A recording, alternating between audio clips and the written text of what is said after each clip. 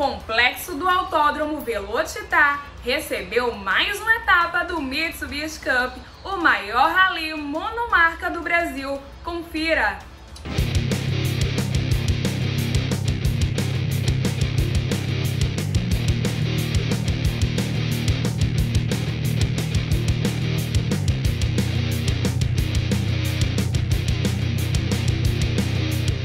Durante o último sábado, o Autódromo Velocitar recebeu a segunda etapa da 22ª temporada da Mitsubishi Cup Rally Cross Country de velocidade promovido pela marca dos Três Diamantes. Com o excelente número de 38 veículos disputando a competição em seis categorias, pilotos e navegadores encararam o desafiador percurso de mais de 25 quilômetros por dentro de fazenda nos arredores do autódromo, desenhado especialmente para a competição. A etapa contou com a participação do pentacampeão de Stock Car Cacá Bueno, que voltou a ter contato com o rally de velocidade depois de 12 anos. Kaká competiu ao lado do navegador, do Sanches, considerado um dos grandes nomes do rally no Brasil. O piloto da Stock Car, depois da prova, comentou que ali era um ambiente novo, muito diferente do que está acostumado nas pistas de asfalto pelo Brasil e no mundo. Cacá Bueno destacou que numa prova de rally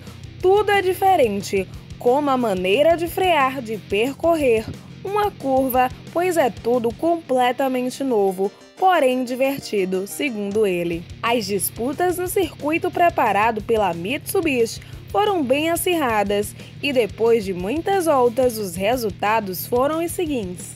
Na categoria Outlander Sport R, em primeiro lugar, André Yutz e João Vitor Alves Ribeiro. Em segundo, Felipe Miranda e José Miranda. Em terceiro, Eric Silveira e Léo Magalhães categoria Outlander Sport R Pro. Em primeiro, Ricardo Feltri e Ivo Maier.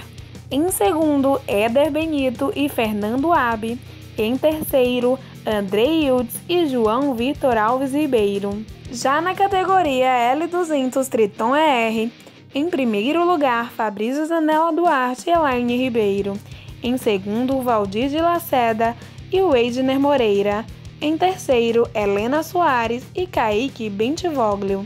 Na categoria L200 Triton ER Pro. Em primeiro, Luiz Parente e Ricardo Amorim da Silva. Em segundo, Peterson de Oliveira e Marco Pastem. Em terceiro, Fabrício Zanella Duarte e Elaine Ribeiro. Na categoria L200 Triton Sport R, em primeiro lugar, Juliano Diener e Gunnar Dames.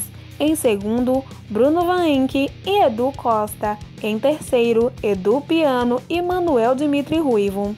E categoria L200 Triton Sport RS. Em primeiro, Elso Bardelli Júnior e Luiz Felipe Eckel. Em segundo, Wagner Roncon e Joseane Coderic. Em terceiro, Alessandro Tozoni e Lourival Rondan. O próximo encontro da Mitsubishi Cup acontecerá em uma rodada dupla que será promovida também no Velocitar no fim de semana dos dias 31 de julho e 1 de agosto.